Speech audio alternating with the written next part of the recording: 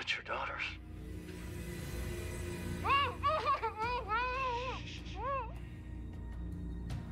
Yes?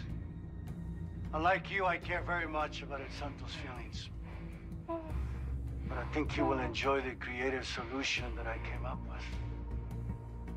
A prisoner exchange.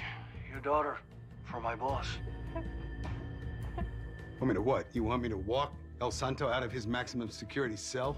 If anyone can do it, it, is the director of NCIS. The United States government does not do prisoner exchanges with criminals. Then you'll have to get creative.